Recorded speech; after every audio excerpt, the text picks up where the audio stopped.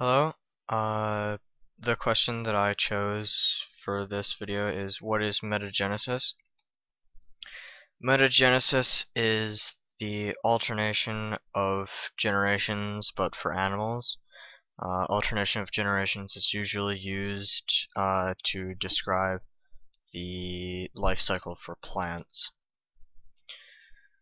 Um, yeah, so this is going to be a short video since it's just a description of a word.